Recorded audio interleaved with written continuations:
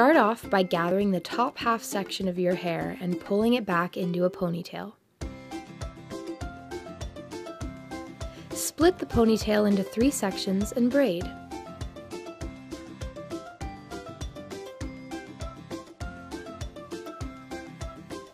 Once your braid is completed, you're going to wrap it into a bun.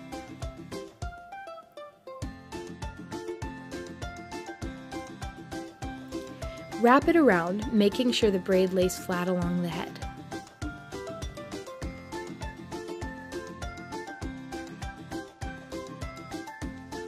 Tuck the ends underneath the braided portion. Take your flexi clip and insert the pin slightly inside the edge of the bun, grabbing the hair underneath along the scalp.